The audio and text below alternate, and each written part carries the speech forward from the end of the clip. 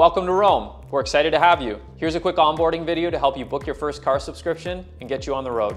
In your account, you can manage your payment information, your subscription details, find your referral code to share with friends, and manage everything related to your account. If you haven't already, the first thing you should do is select your vehicle and the plan that's right for you. You can always change these details later before you commit if you change your mind. Once you've selected your car, we'll ask you to upload your driver's license so we can do a quick background check. Don't worry, your personal information is safe with us. We use best-in-class security technology to protect your information.